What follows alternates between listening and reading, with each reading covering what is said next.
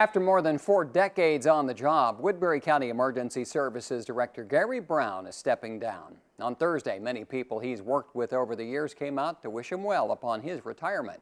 KTIV's Emily Schrad has more. After 41 years of service as Woodbury County's Emergency Services Director, Gary Brown is headed for retirement.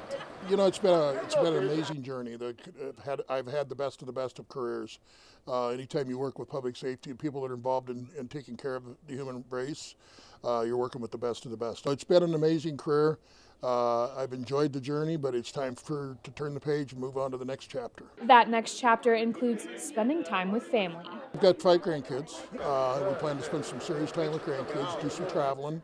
Uh, my wife and I love to jet ski, so we're going to spend some time jet skiing. We're going to keep our home in Sioux City, and we're going to continue to live here in the county. So um, we're just looking forward to slowing down a little bit and having a, having a little different lifestyle than we've had. Brown has seen a thing or two during his tenure, most notably the crash of Flight 232 and what followed.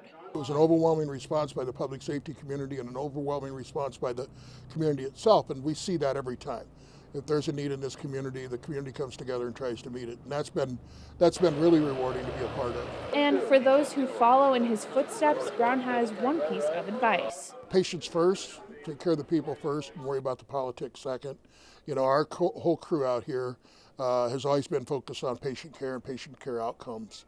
And you can get caught up in a lot of other things, but if you stay focused on the people we take care of, uh, alleviating suffering and pain and trying to save as many lives as possible, uh, that's my advice to anybody that's in this business is patience first. In Climbing Hill, Iowa, Emily Schrad, KTIV News 4.